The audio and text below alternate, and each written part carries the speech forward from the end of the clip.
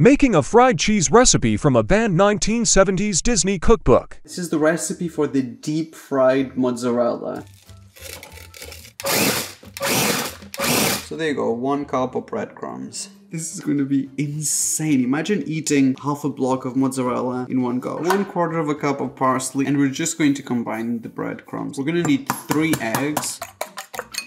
Something about mozzarella really sticks well to flour. Egg straight into the breadcrumb. This is the one that is the most satisfying. That was pretty easy.